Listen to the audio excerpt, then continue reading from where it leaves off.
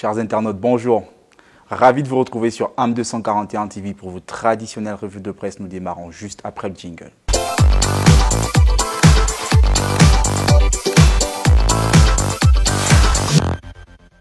Démarrons cette revue de presse avec le quotidien L'Union qui revient sur la prestation du serment de l'équipe Julien Kogebekali.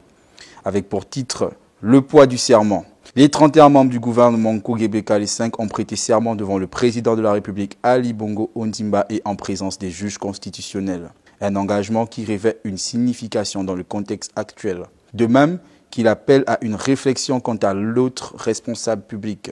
Sur le même sujet, nos confrères de Gabon Matin écrivent cette cérémonie solennelle s'est tenue conformément aux dispositions de l'article 15 de la loi fondamentale gabonaise.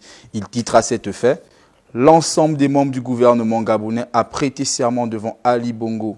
Poursuivons notre revue de presse avec votre média en ligne Média 241 qui est revenu sur l'arrestation de Tony Ondomba.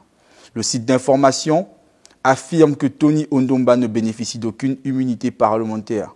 Pour avoir l'immunité parlementaire, il faut siéger à l'Assemblée nationale. Chaque député doit accomplir certaines formalités au secrétariat de l'Assemblée.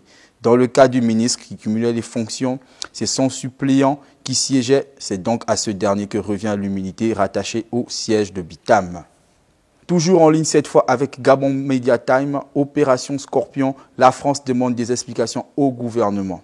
Dans sa parution numéro 813 de ce mercredi 4 décembre 2019, le confidentiel La Lettre du continent indique que des demandes d'explication auraient été adressées par la France au sujet de l'interpellation de personnalités ayant la double nationalité. En effet, sur les 21 fonctionnaires interrogés, 6 des responsables mis en cause détiennent également la nationalité française, dont Brice Lacouche Alianga nous dit le site. Chers internautes, c'est ici que prend fin notre revue de presse. Merci de nous avoir suivis. Je vous dis à très vite sur AM241 TV.